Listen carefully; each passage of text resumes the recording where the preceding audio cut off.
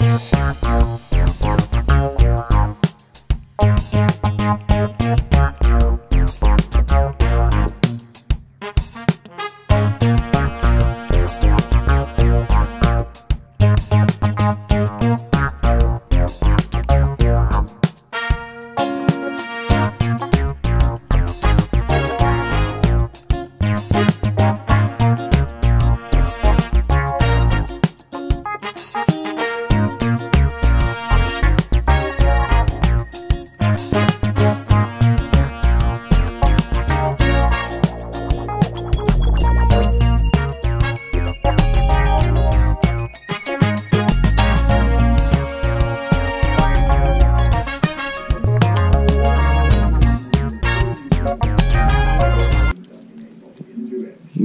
Couldn't put on a video without showing my buddy getting his treat.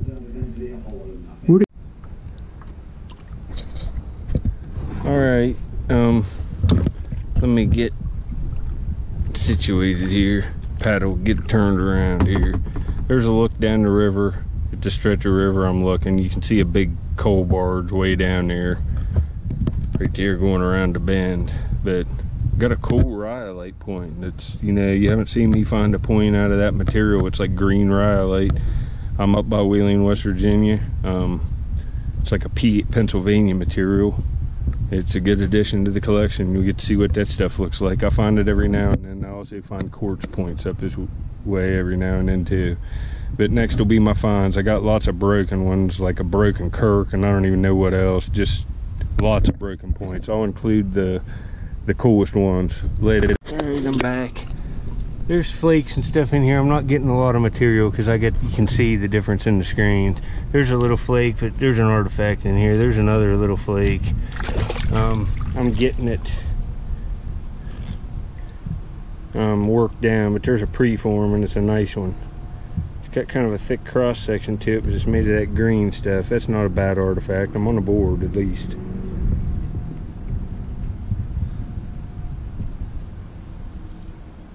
Later, folks.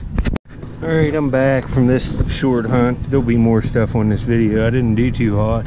Man, I found a bunch of flint, all kinds of high quality stuff. Look at this stuff. And you know, that's a preform, and there's other work stuff, and some little broken bladelets, and lots of flakes of flint ridge, and you can see it here. Lots of this green, kind of translucent stuff, red jasper. But this is all I got. I didn't blank got a little, and that almost looks kind of stemmed. You can kind of see right in there. Some kind of little crude point or preform, but it's kind of cool, you know. But there's the flakage. Lots of cool stuff, you can see it. But I'll get back on my next one, folks. Man, that's pretty stuff, and it's translucent. Later. This is what I'm doing. Uh, All, this is a mixture of about 40% just straight river gravel that's natural to the river, and all the bigger chunks are Indian fire rock. But I've hammered this spot, but I'm surface hunting it. You know, um, I find a couple points here a month laying out that I look at every day. And the points are real nice, but you just got to come every day to get them. It's really picked over and I'm the one that picked over it, and I know what's here. That's why. Um, but I can sift around. I'm gonna go up towards Wheeling here in a little bit and sift on a place. I've been finding a bunch of stuff. I will get back um, on my next find here from there, sifter, sifting in my sifter later. All right, I just got this. It's a real nice little lancet, like flake blade. It's got work on one side. This is an hematite. It's a Black River cobble and it's got little spicules of fossils all in it. Later. Alright, well, here's this piece from the previous clip. It's called a lancet. A lot of people laugh and say, oh, that guy's just finding flakes. Well, it's a toll. Right here's proof of it. It's made exactly like these. You can see the little nipple on it there at the top, just like on this one where it was struck off the core. And you can see what it says. Found on all early human man sites. Description medium lar- to large size sliver used as a knife for cutting. Recent experiments prove that these knives were sharper than a surgeon's scalpel. similar to burins, which are fractured at one end to produce a sharp point. Um, they're valued at three to five apiece. I find hundreds of them, and I find them all on most of them. 80% of the ones I find are on Amos Point sites, and I think these serrated Amos points that have the barbs on them. I think the people were using them on a long, like lance, like spear, an extra long one, and I think it had the point on a small piece that fit into it, and I think they took them off and the serrated edges they filleted fish with. They harpooned them and filleted them all with the same point. I, I see use wear on the serrations under under the microscope that I have that you can see the use on it and it looks like from filleting fish. And there's so many of these on them sites because it was a, a fishing culture and they were filleting fish with these. You know, it's a surgeon's scalpel um, I can fillet a fish with it, just this, in just seconds, and they're all over the set. I'm metal detecting here a little bit. You can see the old brick and stuff, and look, there's an old piece of a cast iron pot with like a handle thing on it there. This stuff's old here. I've found three ring minie ball Civil War bullets here.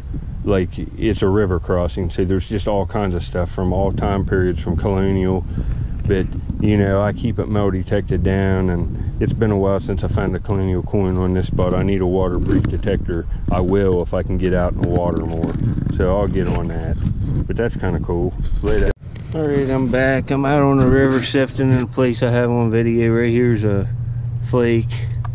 Thought I saw one more in here but I don't see it now but I got a point. It's got a it's a heartbreaker. I already picked it up. I think it's a Kirk stemmed jet black. It's really well made, but it's popped off here on the base, and you can see the kind of angled base. Might even be something transitional. It's real ground. Huh. It's a nicely worked, nicely made point.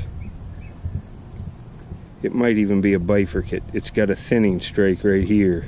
It looks like it might be a Kanawha stemmed. I'd have to see more of it till I can see the basal thinning, but that's nice. It's old. It's like Kirky. That's a shame. Later. Man, I've been finding nice broken points the last couple days, but that's the way it goes. Check out this. Oh, man. Looks like one of them little Riverton points, and it's popped right down the middle. Straight down the middle. That would have been awesome. It's like bluish gray flint ridge.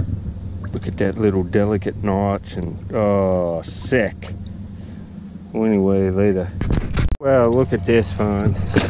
I just did one screen back in here because there's a boot going by and there was waves, so I just did one screen. Look, a pebble with hematite with just a straight up flat facet right on one end where they worked it for paint. And it's just like tool grade iron.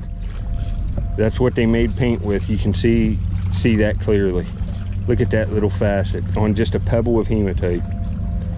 Wow, nice.